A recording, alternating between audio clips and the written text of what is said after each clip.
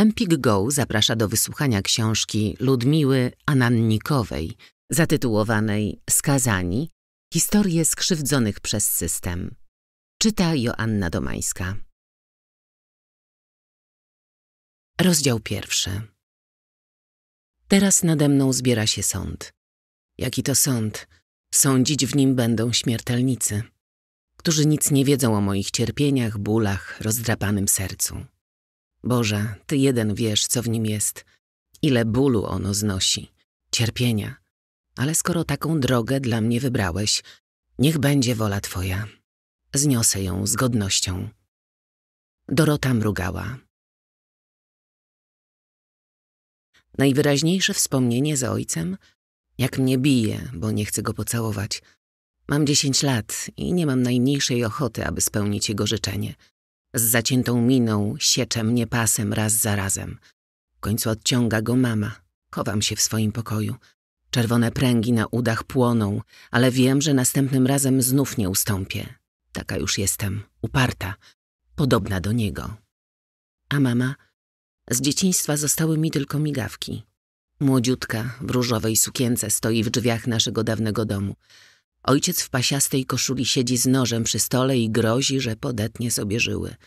Mama płacze, a ja zastanawiam się, czemu stamtąd po prostu nie wyjdzie. A później? Ciepła, zaradna, opiekuńcza. Gdy się przeziębiłam, potrafiła przejechać 300 kilometrów, żeby przywieźć mi świeże jedzenie i posprzątać, choć byłam już przecież dorosła. Przez to, jak ojciec traktował mamę, jego śmierć nie była dla mnie tragedią. Za to jej odejście było wichurą, która wyrwała mnie niczym drzewo z życia, z korzeniami. Krzywda, którą noszę w sercu, jest ogromna, dlatego nie odpuszczę, aż sprawiedliwości stanie się zadość. Strzałów nikt nie słyszał, a jednak policjanci, którzy tego listopadowego ranka przyjechali na miejsce zbrodni, nie mieli wątpliwości, że padły. Krzysztof mrugała w skórzanej kurtce, koszuli i dżinsach, w których dobę wcześniej wyjechał do pracy w kantorze, leżał twarzą do ziemi w sadzie ogrodzonym metalową siatką. Pierwsza kula o kalibrze 9 mm przebiła płuco, a druga serce i tętnicę główną. Do sadu ciało Krzysztofa przeciągnięto przez dziurę w ogrodzeniu.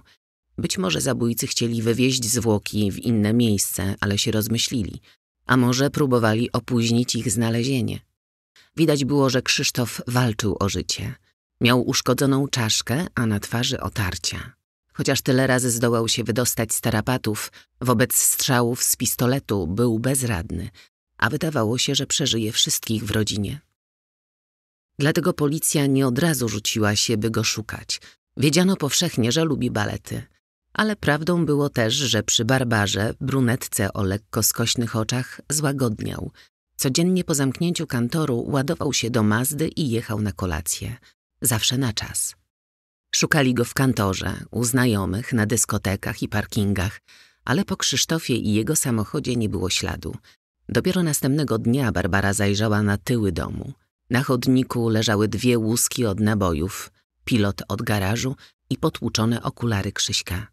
Wciśnięciem guzika podniosła bramę. W środku stała Mazda. Krzysztofa Mrugałę w Busku Zdroju znali wszyscy i wielu mu zazdrościło, bo jako jeden z nielicznych zbudował majątek z niczego. Ale tak samo wszyscy wiedzieli, że współautorką tego sukcesu była jego żona Dorota. To ona na początku lat dziewięćdziesiątych namówiła męża na wyjazd za granicę. Miała dość mieszkania w przybudówce na posesji jego rodziców, sklepiskiem zamiast podłogi.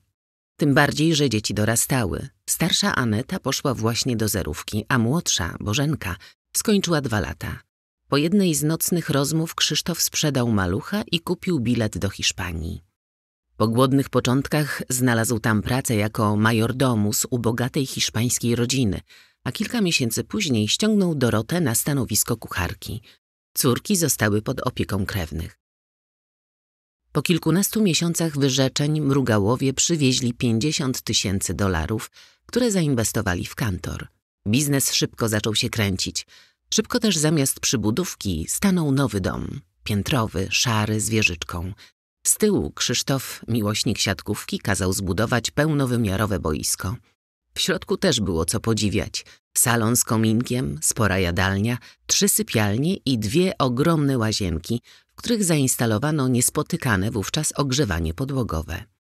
Dorota z myślą o przyszłości córek kupiła dwie działki budowlane i stary dworek w centrum Busku Zdroju, a na parterze domu, gdzie mieszkali, otworzyła salon fryzjerski. Sama korzystała z niego niemal codziennie.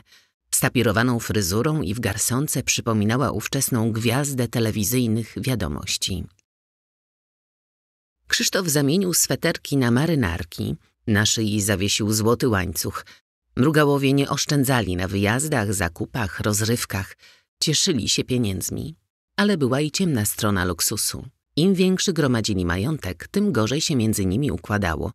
W którymś momencie Krzysztofowi przestało wystarczać to, co miał w domu. Zaczęły się zdrady, alkohol. Czasem narażał cały biznes, bo szedł na balangę prosto z kantoru z plecakiem pełnym pieniędzy. Po powrocie do domu zaś rzucał się na Dorotę i starszą córkę z pięściami. Obrywała nawet młodsza Bożenka, jego oczko w głowie. Wpadłszy w szał, Krzysiek nie oszczędzał nikogo. Aneta mrugała, wysoka, szczupła, w szarej bluzie z kapturem, siedzi naprzeciwko mnie z podkurczonymi nogami na skórzanym fotelu. Jest rok 2019. Choć od śmierci rodziców minęło kilkanaście lat, a dziennikarze napisali na ten temat książkę, setki artykułów i nakręcili dziesiątki programów, dla niej historia się nie skończyła. Wcześniej widziałam ją w programach telewizyjnych. Spotkana twarzą w twarz wygląda na delikatniejszą. Długie, cienkie palce przebierają ciemnoblond włosy opadające na ramiona. Szare oczy przypatrują mi się badawczo. Przez ogromne drzwi balkonowe sięgające 3,5 metrowego sufitu wpadają promienie wiosennego słońca. Za oknem zadbane podwórko, ławki, fontanna. W mieszkaniu, które z mężem Łukaszem kupili w centrum Łodzi, widać rękę profesjonalisty. Elegancka czerń i biel, cegła, parkiet, wykonana na zamówienie biblioteka. Aneta prosi Łukasza, żeby wspiął się na drabinę i wyciągnął rodzinne pamiątki. Będzie jej łatwiej opowiadać. Karton ze zdjęciami stoi wysoko, żeby nie rzucał się w oczy i nie kusił do rozdrapywania starych ran. Po kolei oglądamy kadry z życia mrugałów. Komunie, urodziny, wakacje. Inni członkowie rodziny już nawet nie pytają o sprawę, ale ja nadal nie potrafię odpuścić, mówi Aneta. Jakbyś zapytała ludzi na ulicy, czy to, co nas spotkało, było sprawiedliwe, każdy powiedziałby, że nie, ale państwo i sądy uznały inaczej. Zbyt wiele rzeczy mnie boli. Że prokurator, który wsadził mamę do aresztu, awansował. Że w momencie śmierci mamy państwo uznało, że problem sam się rozwiązał. Że nikt nie uznał naszej krzywdy, nie przeprosił. Nie dostałyśmy odszkodowania. Aneta szybko streszcza historię, którą znam z mediów. Po śmierci Krzysztofa Dorotę oskarżono o zlecenie zabójstwa. Sądu matka nie doczekała, zmarła w areszcie. Skazani zostali natomiast Norbert S. i Rafał O., lokalni kryminaliści. Początkowo na ławie oskarżonych wylądował także Paweł Poborca, ochroniarz dyskoteki w Busku Zdroju, ale w trakcie procesu został uniewinniony. Zdaniem Anety uniewinnienie należało się wszystkim oskarżonym, bo na żadnego nie było twardych dowodów. Prosiłyśmy o to sąd na rozprawie, ale widać kogoś musiał skazać. Czuję, że pod żadnym względem nie doczekałyśmy się z siostrą sprawiedliwości. Dlatego ta historia mnie nadal tak boli. I dlatego nie mogę jej zamknąć i iść dalej. Proszę, pomóż. Akta zabójstwa leżą w archiwum Sądu Okręgowego w Kielcach. Majestatyczny gmach w kolorze ekri stoi w centrum miasta przy Seminaryjskiej. Do niewielkiej czytelni w holu głównym pracownik sądu przywozi na wózku kilkadziesiąt zakurzonych tomów przewiązanych czarną taśmą. Sprawa Norberta S. i innych. Napisano czarnym markerem na okładce. Z dokumentów wynika, że Krzysztof został zastrzelony 4 listopada 2004 roku na tyłach posesji przy garażu, krótko po 18. Poza ciałem, łuskami, okularami i pilotem do bramy policja zabezpieczyła kilka włosów, niedopałków i zakrwawioną roboczą rękawicę, wetkniętą w kieszeń na drzwiach samochodu. Pobrano również ślady osmologiczne, a spod paznokci ofiary próbkę z mieszaniną śladów DNA. Policja nie znalazła broni, z której zabito ofiarę, ani pieniędzy. choć zdaniem Barbary, konkubiny Krzysztofa, powinien był mieć przy sobie 300 tysięcy złotych w różnych walutach i biżuterię wartą kolejne 200. Przeprowadzona krótko potem ekspertyza DNA wykazała, że jeden z niedopałków miała w ustach konkubina Krzyśka. Pozostałe należały do dwóch nieznanych mężczyzn. Jako pierwszy w kręgu podejrzanych znalazł się kapsel, czyli Paweł Poborca, ochroniarz dyskoteki. Według Barbary podczas jednej z imprez w dyskotece poturbował Krzyśka i odgrażał się, że ma z nim nieskończone rachunki. Ale policji nie udało się powiązać poborcy ze zbrodnią. W krytycznym momencie był z kolegą w kafejce internetowej, a potem na stacji benzynowej, co zarejestrował monitoring. Śledy z miejsca zbrodni też do niego nie pasowały. Na kolejnych kartach zeznania krewnych, przyjaciół, dalszych i bliższych znajomych i żadnego tropu. Po siedmiu miesiącach od zabójstwa prokuratura w Busku Zdroju zamknęła śledztwo z powodu niewykrycia sprawcy. Stop. A gdzie Norbert S. i Rafał O? Wertując kolejne strony widzę, jak nagle stają się głównymi podejrzanymi w otwartym na nowo śledztwie. A razem z nimi ona, matka dwóch córek, która ledwo co zdołała wyrwać się z łap męża oprawcy i zaczęła ponownie układać życie. Dorota. Krzysztof Eł, czy jak na niego mówiono Willy, przed laty był brutalnym mafiozem z sądeckiego gangu Ala Capone. Poszedł na współpracę z policją, gdy zaczął obawiać się wspólników. Liczył też na nadzwyczajne złagodzenie kary. Wsypał więc kolegów gangsterów, a potem obiecał prokuraturze, że będzie informował ją o każdym przestępstwie, o jakim tylko usłyszy. Podróżując z więzienia do więzienia, miał ku temu warunki. W lutym 2005 roku, kiedy przesłuchiwano go w prokuraturze w Nowym Sączu w zupełnie innej sprawie, Willy nagle zaczął opowiadać o zabójstwie Krzysztofa Mrugały. Prokurator przesłał notatkę do buskiej komendy. Dwa miesiące później Willego przywieziono do Buska Zdroju, by wziął udział w czynnościach procesowych związanych z zabójstwem. Jakie to były czynności, nie wiadomo, ale zanim doszło do oficjalnego przesłuchania, minęły kolejne dwa miesiące. Wtedy też zostało wznowione śledztwo. Policjant, wysoki w okularach, doświadczony w walce z przestępczością zorganizowaną, siedział za biurkiem w gmachu Komendy Wojewódzkiej Policji w Kielcach i niecierpliwie czekał na świadka. Czytał akta dziesiątki razy i nic. Teraz liczył, że śledztwo w końcu ruszy. Willy był jedynym świadkiem, który mógł rzucić na sprawę nowe światło. Chwilę później opadł przed komisarzem na krzesło i wbił wzrok we własne dłonie. Na początku roku siedziałem w celi z Norbertem S. z Buska Zdroju, który odsiadywał wyrok za napad na listonoszkę. Zaczął. Dałem mu do przeczytania akta mojej sprawy, żeby wzbudzić zaufanie. Był mną zafascynowany. Kiedyś jak wyłączono światło i leżeliśmy głowa ku głowie, zapytał szeptem, czy mam kolegów na wolności. Wiedział, że zarzucono mi kierowanie grupą przestępczą z więzienia. Zaproponował porwanie syna biznesmena z Buska. Mówił, że możemy dostać za niego nawet milion dolarów okupu. Willy zapewnił śledczego, że nie zamierzał uczestniczyć w porwaniu, ale słuchał Norbiego z zainteresowaniem. I tak po dziesiątkach rozmów dowiedział się, że ten wraz z kumplami zamordował Krzysztofa Mrugałę na zlecenie jego byłej żony, ciotki Doroty. Norbi miał dodać, że ciotka odbierze okup za porwanego syna biznesmena, bo jest z nim związana sprawą zabójstwa męża. Opowiedział też o nieudanym małżeństwie Doroty i Krzysztofa, ich kłótniach, o majątek, znęcaniu się, a nawet o tym, że przed zabójstwem Krzysztof zameldował w rodzinnym domu kochankę. Willy przedstawił też przebieg całego zdarzenia, wymieniając pseudonimy sprawców. Zdaniem gangstera Krzysztofa zabili Norbi, Gruby i Czarny, a Kapsel był ich kierowcą. Feralnego wieczoru czekali aż wróci z kantoru i wtedy zaatakowali, Wywiązała się szarpanina, podczas której Krzysztof zerwał jednemu z napastników kominiarkę. Wówczas Czarny strzelił, a potem zabrał pieniądze. Kapsel natomiast, który umawiał się z żoną ofiary na tę robotę, miał przewieźć zwłoki Krzysztofa w inne miejsce, ale tego nie zrobił. Dlaczego? Willy nie wie. Natomiast broń Norbi schował w warsztacie tapicerskim na posesji swojej żony. Komisarz przyglądał się Williamu z uwagą – może nie wszystkie szczegóły się zgadzały, ale historia się kleiła. Nie można mu też było odmówić wiedzy o życiu buskiej społeczności. Nie byłby w stanie tego wszystkiego wymyślić. Policja zaczęła sprawdzać. Norbi, czyli Norbert S., to syn nauczycielki z Buska Zdroju. Rzeczywiście znał Dorotę Mrugałę, była dobrą znajomą jego matki. Rzeczywiście siedział w jednej celi z Willim i, jak wynika z listów do żony, był zafascynowany współlokatorem. Skarbie, zgadnij co, jestem z powrotem na celi 228 z Willim. Jest zaje... Myślę, że czujesz mój zapach Hugo Bossa, dostałem go od Willego. Również Gruby, czyli Rafał O., kumpel Normiego, pasował do historii opowiedzianej przez Willego.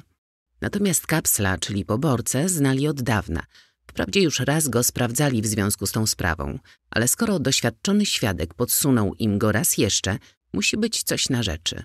Kim jest czarny czy też szary? Zeznając Willy nie mógł się zdecydować.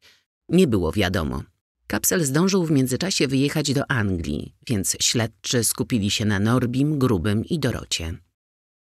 Żadne ślady z miejsca zbrodni do nich nie pasowały, ale to jeszcze nic nie znaczyło. Postanowiono zbadać całą trójkę wariografem. Czy siedzi pani na krześle? Czy piła pani kawę?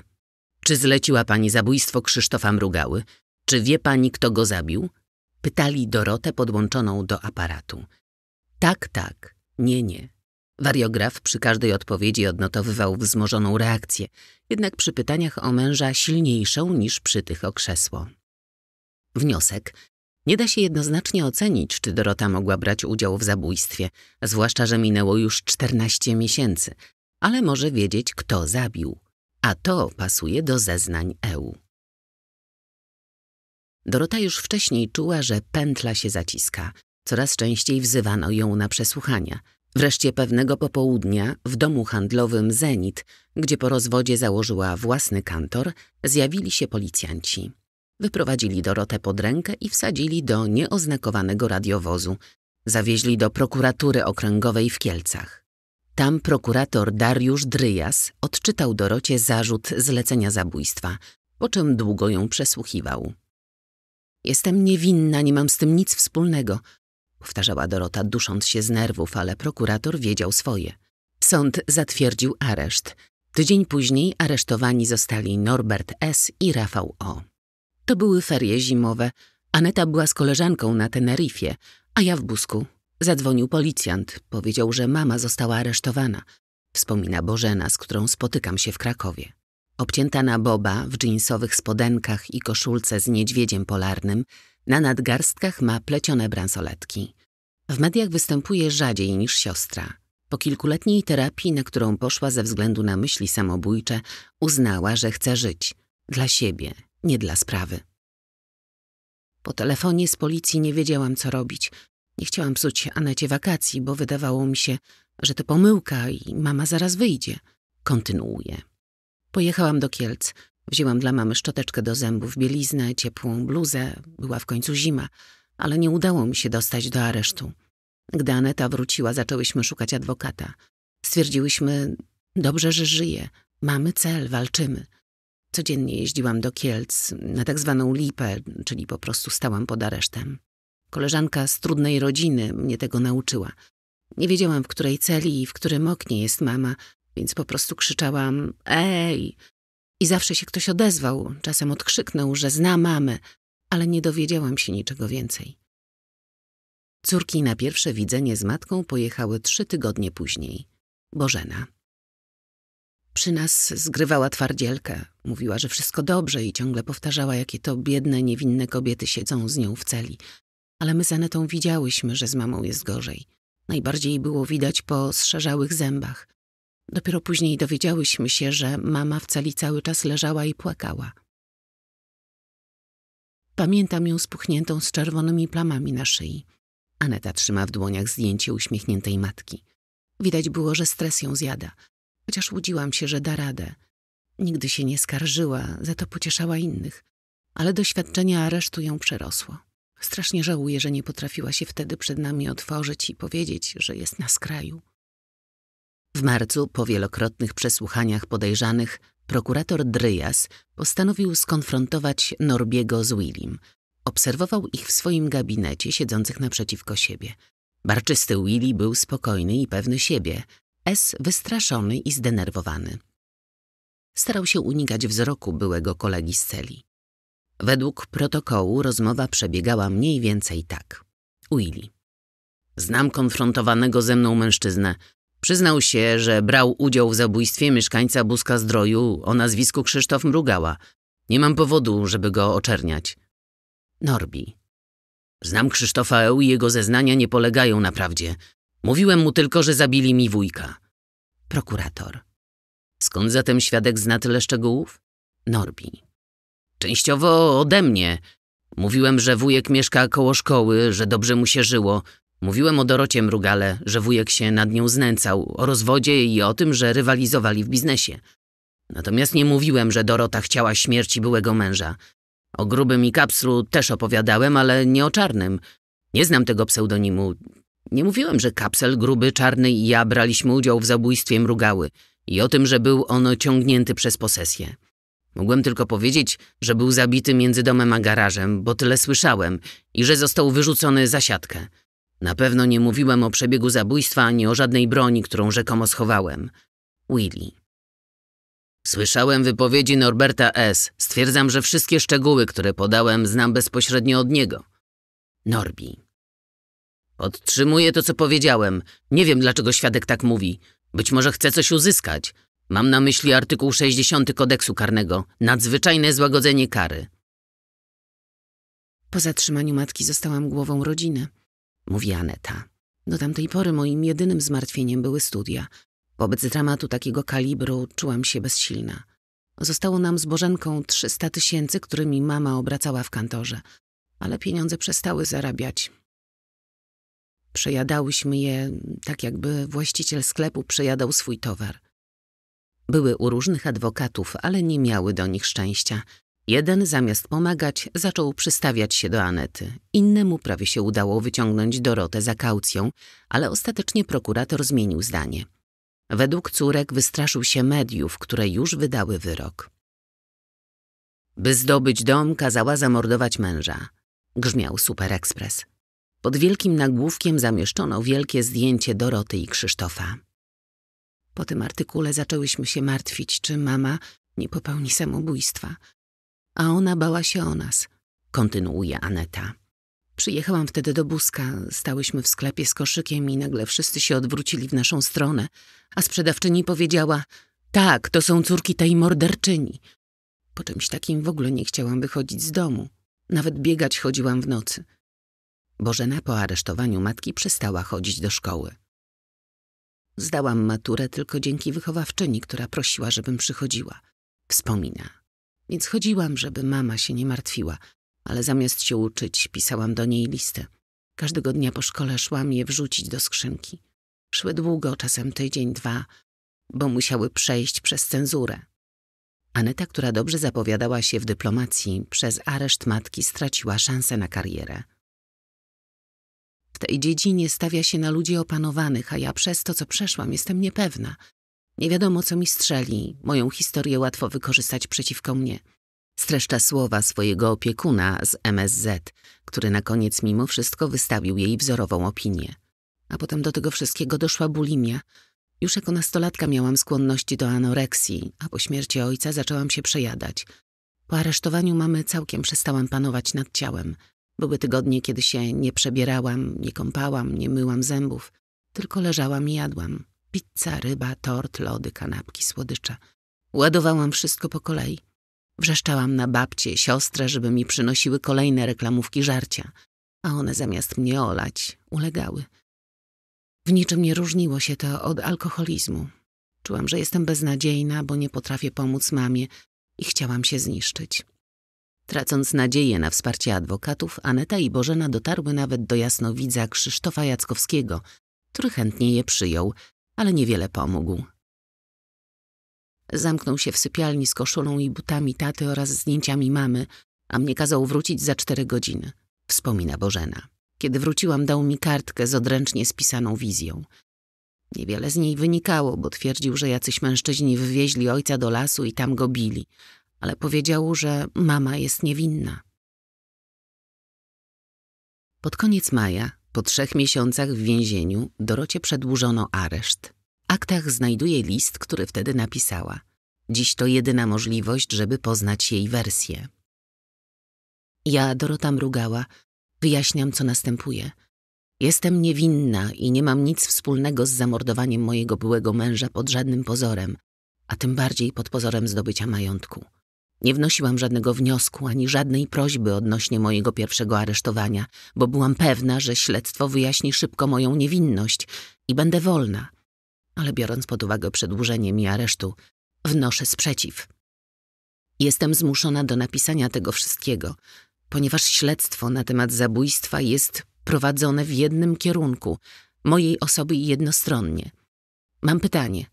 Dlaczego miałabym to zrobić po upływie około dwóch lat po rozwodzie, kiedy ułożyłam sobie na ileś spokojne życie z córkami? Jestem osobą konsekwentną i zdawałabym sobie sprawę, co mogłoby mnie spotkać za taki czyn. Jak mogłabym skłamać i oszukać moje córki? Niepokoi mnie również oskarżenie, że istnieje prawdopodobieństwo zabicia byłego męża celem mojego wzbogacenia się. Stawiam pytanie, czy nie lepiej byłoby z mojej strony zrobić to, kiedy byłam jeszcze w związku małżeńskim i może w sposób bardziej spontaniczny, a nie w taki, jaki miało to miejsce? Gdyby chodziło o majątek i wysoką sumę pieniężną, starałabym się to zrobić w czasie, kiedy w grę wchodziła wysoka polisa ubezpieczeniowa. Będąc w związku małżeńskim, miałam wydawany wyrok kilka razy dziennie, na przykład żyjesz jeszcze godzinę. Również na przesłuchaniu 16 lutego 2006 nikt nie chciał mnie wysłuchać, a wręcz odwrotnie, zmuszano mnie do przyznania się i do powiedzenia głośno tego, czego nie zrobiłam. Też byłam zastraszana pięcioma minutami. Stwierdzono, że to moje ostatnie pięć minut, które mogą odmienić moje życie. Gdybym była autorem tej zbrodni, dawno byłabym za granicą. Nie brałam takiej opcji do głowy swojej, że ktoś mnie pomówi i wrobi w zabójstwo mojego byłego męża, a polskie prawo i sprawiedliwość mnie oskarży i uwięzi. Paweł z przerażeniem patrzył w lufę karabinu. Dopiero wrócił z Anglii na urlop. Ubierać się! krzyczał mu do ucha człowiek w kominiarce. Do dziś pamięta oczy matki, która półprzytomna ze strachu stała w piżamie w drzwiach jego pokoju. Czy to jakiś kawał? Mamy cię? Próbował żartować, ale gościom nie było do śmiechu. Rzucili go na łóżko, skuli ręce. Dopiero na komendzie powiedziano mu, że chodzi o zabójstwo mrugały. Przecież już raz go sprawdzili. Co jest grane? Znowu odciski palców, próbka DNA i do aresztu. Na Enkę, czyli do celi dla szczególnie niebezpiecznych pod kamery. Może pęknie. Parę tygodni później pakują go do radiowozu. Ma jechać do prokuratury na zapoznanie się z aktami. W środku siedzi Dorota, a po chwili dołącza Norbert S. Pewnie założyli podsłuch. Myśli poborca. Norbiego ignoruje. Nigdy się nie kumplowali, ale Dorotę lubił. Teraz ledwo ją poznał. Spocona o ziemistej cerze, łzy w oczach. Gdzie fryzura, uśmiech, garsonka? Powinniśmy teraz siedzieć przy grillu, a nie tutaj. Wyszeptała do poborcy ledwo słyszalnym głosem. Tak będzie, zobaczysz. Próbował ją pocieszać, ale sam był w rozsypce. 10 sierpnia 2006 prokurator Dariusz Dryjas miał gotowy akt oskarżenia. Zarzucił Norbertowi S. zabójstwo, handel narkotykami, napad, nielegalne posiadanie broni i namawianie Williego do porwania syna biznesmena. Razem z nim oskarżonych zostało siedem osób, w tym Dorota. W sprawie zabójstwa prokurator niemal w całości przyjął wersję Krzysztofa Eł. Uznali, że zabili Norbi, Gruby i Czarny, a całością kierowała była żona ofiary. Zamieszany w sprawę był też poborca – Wśród oskarżonych znalazł się także Sławomir, właściciel innego kantoru, przyjaciel Mrugałów, który po ich rozwodzie wziął stronę Doroty. Zdaniem prokuratora on również namawiał do zabójstwa Krzysztofa, ale nie Norbiego i ekipę, tylko dwóch innych mężczyzn. 23 września 2006 roku Dorotę obudził ból, pękała jej głowa. Mimo to wstała, wypiła herbatę, wyszła na spacer. Po powrocie poprosiła o lekarza. Zanim pielęgniarka spojrzała na wyświetlacz ciśnieniomierza wskazujący 220 na 120, Dorota już leżała na podłodze. Straciła przytomność, a potem oddech. Dziesięć minut później w klatkę piersiową Doroty uderzyły najpierw adrenalina, a potem prąd. Po dwunastu cyklach reanimacji serce więźniarki niemrawo ruszyło. Zawał, operacja, stan po zabiegu ciężki, nie odzyskała przytomności. Żyła dzięki aparaturze. Lekarze starali się przygotować córki na najgorsze. Mówili o rozległym zawale, który przeżyła ich matka, powiązanym z nim udarze i obrzęku mózgu, ale one zachowywały się, jakby tego nie słyszały. Były u wróżki. Powiedziała, że mama wyzdrowieje. 30 września o 15 monitor pilnujący serca Doroty zawołał personel przeciągłym piskiem. Tym razem Doroty nie reanimowano, bo była zbyt słaba. Miesiąc później w gmachu sądu przy Seminaryjskiej wystartował proces. Na ławie oskarżonych posadzono sześć osób, część w związku z zabójstwem, a część z innymi przestępstwami, które popełniali razem z Norbertem S. Rozprawy za każdym razem ściągały do sądu pół buzka zdroju. Przyjeżdżali krewni Krzysztofa Mrugały, Norbiego, poborcy, Aneta z Bożeną oraz kilkudziesięciu świadków. Aneta i Bożena zaprzyjaźniły się z Kasią, dziewczyną Kapsla i z jego siostrą Ewą. Ani przez chwilę nie wierzyły, że poborca miał coś wspólnego z zabójstwem ich ojca. Po rozprawach chodziły razem na obiady. Z matką Norbiego, choć się znały, wolały nie rozmawiać – w 2006 roku prokuratura ustaliła, że Norbi kilka miesięcy przed zabójstwem Krzysztofa zorganizował napad na Dorotę. Sam został w aucie, a atakowali gruby z kumplem. Tuż pod domem Doroty powalili ją na ziemię i próbowali wyrwać torbę z pieniędzmi, ale nie dali rady. S i O wypierali się wszystkiego, nawet rzeczy oczywistych. Dla sądu byli więc mało wiarygodni. Sędziowie zauważyli jednak, że nie wszystko w oskarżeniu się klei. O ile dwaj główni podsądni to kryminaliści i mogli napaść na Krzysztofa, o tyle pozostali stanowią jakąś dziwną zbieraninę. Po co miałaby zabić Dorota, która w końcu miała spokojne, poukładane życie, a poborca? Czy wróciłby z Anglii do Buzka Zdroju, gdyby miał śmierć Krzysztofa na sumieniu? Koledzy Kapsla, a także znajome dziewczyny, z którymi miał się spotykać w dniu zabójstwa, dali mu alibi. Jego wersję potwierdzał także monitoring ze stacji benzynowej. SIO mieli adwokatów z urzędu. Kapsel sobie wynajął dwóch, w tym Macieja Klisia, poleconego przez Zbigniewa Ćwiąkalskiego. Załatwiła go Kasia, która studiowała prawo, a Ćwiąkalski był jej promotorem. Rodzina Kapsla zatrudniła też kontrowersyjnego detektywa Krzysztofa Rutkowskiego, lecz niewiele zdążył zrobić, bo sam trafił za kratki z powodu afery paliwowej. Kasia i siostra poborcy pisały również do Zbigniewa Ziobry, który wówczas był ministrem sprawiedliwości. Bez skutku. Natomiast mecenasowi Klisiowi udało się skutecznie podważyć oskarżenie. Bystry, młody, ambitny, jakby jechał na czołgu, a inni adwokaci na rowerach. Powie mi później poborca. Ale tani nie był. Na adwokatów rodzina wydała 200 tysięcy złotych. Wszystko, co Kapsel i Kasia zarobili w Anglii. W czerwcu sędziowie mieli już pewność, że poborca jest niewinny i wypuścili go za kaucją 150 tysięcy złotych. Żeby wyciągnąć syna z aresztu, rodzice zastawili mieszkanie. Uniewinniony został też właściciel kantoru Sławomir. Norbiego i Grubego sąd skazał na 25 i 15 lat więzienia. Nie mieli wiarygodnego alibi, a fascynacja Norbiego Willim podpowiadała sądowi, że informacje, które Norbi przekazywał gangsterowi, były prawdziwe. Uznano jednak, że zabójstwo Mrugały nie było planowane. Chodziło o rabunek, później zaś sytuacja wymknęła się spod kontroli, a więc i Dorota nie miała z nim nic wspólnego. Prokuratura, nie chcąc się zgodzić na uniewinnienie dwojga spośród oskarżonych, wniosła apelację, podobnie jak skazani, którzy nie zgadzali się z wymiarem kary. Sąd apelacyjny pod przewodnictwem późniejszego prokuratora generalnego kazał jeszcze raz przyjrzeć się sprawie zabójstwa. Kolejni sędziowie Kieleckiego Sądu Okręgowego doszli jednak do podobnych wniosków co ich poprzednicy. Tyle tylko, że skrócili wyroki 15 lat dla Norbiego i 12 dla Grubego. Skazany został Sławomir, ale sąd odstąpił od wymierzenia mu kary. Poborca po raz kolejny otrzymał uniewinnienie. W aktach znajduje odręcznie napisany list Rafała O. i Norberta S. do sądu. Gruby. Niniejsze oświadczenie jest moją mową końcową. Kategorycznie zaprzeczam, abym miał cokolwiek wspólnego z zabójstwem Krzysztofa Mrugały. Jestem niewinny.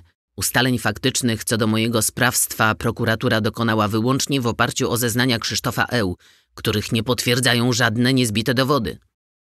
Norbi. Krzysztof Eł, wielokrotny morderca, który zabijał ludzi dla korzyści majątkowych, jest świadkiem całkowicie niewiarygodnym. Wyniki ekspertyzy z badań wariograficznych, osmologicznych i biologicznych zaprzeczają mojemu udziałowi w zabójstwie. Tak samo bilingi z telefonu wskazujące, że w momencie zabójstwa zalogowałem się 170 km od Buska, w Jaworznie. Gruby i Norbi wskazali też w listach na innych możliwych sprawców zabójstwa. Bandę Tadeusza G. z odpowiedzialną za zamordowanie innych właścicieli kantorów, której członków zatrzymano kilka lat po zabójstwie Mrugały. Sędziowie pozostali jednak nieugięci. Spory fragment uzasadnienia sąd poświęcił roli Doroty w zabójstwie, bo wiedział, że córkom na tym zależy. Nie miała żadnego motywu, żeby zabić byłego męża. Prowadziła ustabilizowane życie, a zeznania świadka EU są w tej kwestii zbyt niespójne, żeby dać im wiarę. Dla Anety i Bożeny te słowa były szansą na odszkodowanie. Mając wsparcie Klisia, którego zatrudniły po jego udanej obronie poborcy, złożyły dwa pozwy. W pierwszym zażądały miliona złotych dla Bożeny i 650 tysięcy dla Anety za to, że państwo poprzez śmierć matki pozbawiło je jedynego źródła utrzymania, a w drugim po 5 milionów za złamane życie. Opisały nieukończone studia, zrujnowane kariery i plany, leczenie psychiatryczne, bulimię Anety. To był areszt wydobywczy. Nie było przeciwko mamie żadnych dowodów, a mimo to prokurator trzymał ją w celi – Chciałyśmy, żeby wymiar sprawiedliwości zapłacił za to, co nam zrobił, mówi dziś Aneta. Sąd odrzucił jednak roszczenia, bo zgodnie z prawem odszkodowanie należy się niesłusznie aresztowanym, ale żyjącym. Poza tym, jak argumentował, władza publiczna działała wobec Doroty zgodnie z prawem, a córki nie zdołały udowodnić, że areszt był bezpośrednią przyczyną śmierci ich matki. Również sprawa o spowodowanie nieumyślnej śmierci przez areszt została przez prokuraturę umorzona. Biegli uznali, że choć Dorota nie miała w więzieniu odpowiedniej opieki medycznej, a lekarze nie dochowali staranności i działali nieetycznie, to nie można kategorycznie stwierdzić, że lepsze traktowanie Doroty uchroniłoby ją przed śmiercią. W obu sprawach Aneta dotarła do Sądu Najwyższego, ale Temida pozostała nieugięta kolejnych latach napisała dziesiątki, jeśli nie setki pism do posłów, senatorów, ministrów, ale nie znalazła pomocy. Przecież mają z Bożeną za co żyć, zostały im pieniądze, nieruchomości, a dodatkowo wywalczyły w sądzie po 120 tysięcy odszkodowania od Super Expressu, który oczernił ich matkę. Czego jeszcze chcą? Mogli głowić się przedstawiciele państwa. Aneta pisała również skargi na prokuratora Dryjasa, który w 2016 roku awansował na prokuratora okręgowego w Kielcach, ale dostała odpowiedź, że są one bezzasadne, a prokurator nie naruszył prawa. Nie widziano także podstaw do wznowienia śledztwa w sprawie powodów śmierci Doroty. Pytam Anetę, jak się z tym wszystkim czuje. Oszukana. Przestałam wierzyć w sprawiedliwość sądów. Z drugiej strony mnie to nie dziwi, Państwo jest świadome, że dając nam odszkodowanie, otworzyłoby do niego drogę także wielu innym skrzywdzonym rodzinom.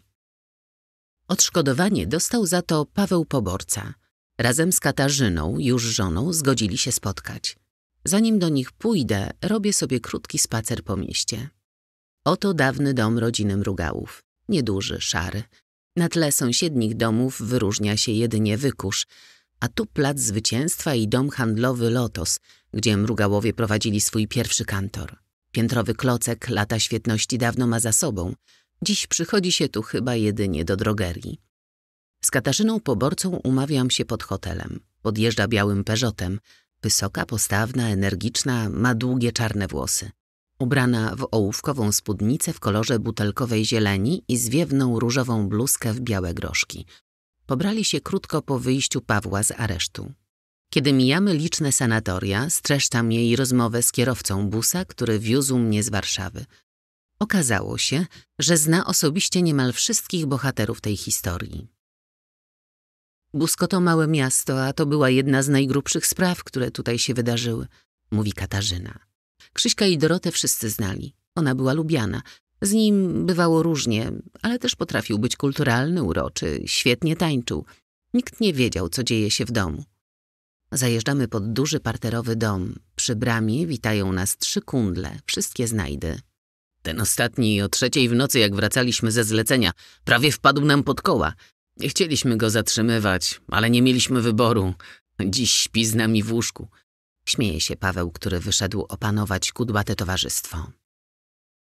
Na oko pięćdziesięciolatek, ogolony, wytatuowany, ma na sobie niebieską koszulkę i krótkie spodenki. Widać, że trochę się denerwuje. Z Kasią prowadzą biuro detektywistyczne. Paweł pokazuje mi pokój po brzegi wypełniony noktowizorami, ukrytymi kamerami, podsłuchami. Będzie pani czegoś potrzebowała, służymy pomocą. Coś w nas zostało po tej historii. Lubimy pomagać ludziom, którzy mają kłopoty i muszą się zmierzyć z wymiarem sprawiedliwości, pójść do sądu. Mamy znajomych wśród policjantów, opowiada Katarzyna. Widzę, że poborca niezbyt chce wracać myślami do celi, więc nie przechodzę do sprawy od razu. Siadamy w przestronnym salonie. Przez szklane drzwi patrzę na taras i basen i dalej na pole. Psy siedzą przy nas. Oblizują się na widok ciastek, które Kasia wykłada na talerz. Dorota miała tego pecha, że zmarła. Brzmi okropnie, ale taka prawda. Zaczyna poborca. Ja przeżyłem, więc dostałem odszkodowanie, ale nie czuję się sprawiedliwie potraktowany. Krzywdę oceniam jako znacznie większą. Dostałem 235 tysięcy, a na obronę wydaliśmy 200. Rodzice musieli zastawić mieszkanie, żeby było na kaucję. Później państwo zwróciło pieniądze, ale co żeśmy zapłacili od setki i od kredytu to nasze. Pieniądze z odszkodowania włożyliśmy w dom. To samo mieliśmy zrobić z pieniędzmi zarobionymi w Anglii, ale poszły na obronę. Tak czy siak bez kredytu się nie obeszło. Trąca Katarzyna. Gdybyśmy zostali wtedy na wyspach, zarobilibyśmy więcej. Po urlopie czekał na mnie tam awans, mieliśmy dobre stawki, bo pracowaliśmy u mojego szwagra, a funt stał po 7 złotych. Odkładaliśmy, zwiedzaliśmy, kupilibyśmy dom i jeszcze by nam zostało. Kapsel podaje mi herbatę. Wyciąga paczkę papierosów. W końcu czuję, że mogę zapytać, jak wspomina więzienie. Chwilę myśli, po czym zaczyna strzelać słowami niczym z karabinu. Siedziałem na ence jako niebezpieczny. Ciasnota, samotność, podwójne drzwi. Przed każdym wyjściem skuwali nogi i ręce. Dwóch strażników z przodu, dwóch z tyłu, a dowódca zmiany woła do innych więźniów Chować się, Enka idzie. Jak mnie prowadzili do sądu przez ulicę, to jak na filmach amerykańskich. Czerwony kombinezon, brzęk łańcuchów. Ludzie się patrzyli, a ja wciąż myślałem, jak tu się bronić. Starałem się wierzyć, że wyjdę, ale czasem dopadał mnie straszny lęk, że nie mam szans. Były nawet myśli, żeby się poddać. Ale jak, skoro wiesz, że jesteś niewinny? Katarzyna.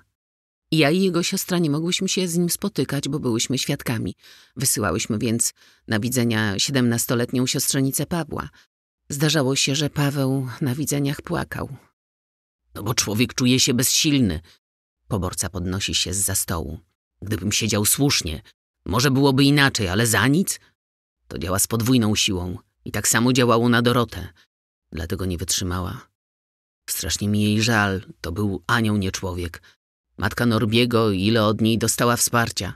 Pracowała dla niej, woziła pieniądze do Kielc. Czasem Dorota jej więcej zapłaciła, żeby kupiła coś synowi, który już wtedy siedział. Do ostatniej chwili nie wierzyła, że to Norbi zorganizował napad na nią. Dla niej był dzieckiem koleżanki. Krzyśka też mi żal. Kiedyś rzeczywiście wyprowadziłem go z dyskoteki, ale to była zwykła interwencja. Ale też ile razy go podwoziłem i mi dziękował, przepraszał. To był elegancki chłopak. Na dyskotece wygrał kiedyś konkurs tańca. W siatkę grał. Nikomu nie życzyłbym tego, co go spotkało. W pewnym momencie w więzieniu przypomniałem sobie o SMS-ach, które pisałem tego dnia do różnych osób. Poborca wraca do tematu więzienia. W ten sposób odtworzyłem cały dzień zabójstwa, z minuty na minutę. Zrobiłem mapę. Stąd sędziowie wiedzieli, że mam alibi. Przeżywałyśmy z jego siostrą, czy sobie czegoś nie zrobi. Wtrąca Katarzyna. Nie miałyśmy dostępu do akt, nie wiedziałyśmy, na jakiej podstawie go oskarżają. Dopiero później wyszło, że jest jakiś Willy. Prokuratura wolała mu wierzyć, bo zeznawał też w innych sprawach. Gdyby uznano go za niewiarygodnego, tamte sprawy również stanęłyby pod znakiem zapytania. A ja siedziałem i myślałem, że jak z Dorotą wyjdziemy, będziemy zakładać sprawę policji i prokuraturze i ich gotować, jak oni nas gotowali. Poborca spuszcza głowę. Ale ostatecznie im podarowałem. Wszyscy byliśmy zmęczeni. Żona i siostra powiedziały, że lepiej odpuścić i spróbować zapomnieć. Moglibyśmy też walczyć o większe odszkodowanie, ale nie mieliśmy na to sił. Kiedy pan poczuł, że będzie dobrze? Kiedy sędzia zaczął mówić na rozprawie słowami z mojego listu do Kasi, pisałem: Kocham cię, trzymaj się i pamiętaj, nawet kropla drąży skałę nie siłą, lecz częstym padaniem. Dał mi wtedy sygnał: Musisz jeszcze poczekać, chłopie, ale będzie dobrze. O odszkodowanie wystąpili zaraz po uprawomocnieniu wyroku. Miałem zawroty głowy, stany lękowe, a psycholog uznał, że nic mi nie jest. Najgorsze było jednak poczucie, że skoro wcześniej potrafili przyjść i zabrać mnie z domu od tak, bez żadnych dowodów, to w każdej chwili mogą zrobić to jeszcze raz, mówi poborca. Jak słyszałam rano pukanie do drzwi, to ściskało mnie w żołądku, wspomina Kasia. Gdyby nie to, że mam policjantów w rodzinie, pewnie do dziś bym się bała każdego radiowozu. Nasze życie towarzyskie też ucierpiało. Prawie nie wychodziliśmy, bo jak tylko wyścibiliśmy nos z mieszkania, wszyscy się na nas gapili. Paweł. Dużo negatywnych komentarzy było na nasz temat w internecie. Część znajomych całkowicie się odcięła. Byli też tacy, którzy za plecami mówili na pewno to zrobił, a potem w oczy zawsze w ciebie wierzyłem. I w sumie trudno mieć o to żal. Ludziom w głowie się nie mieściło, że można kogoś zamknąć za zabójstwo bez dowodów.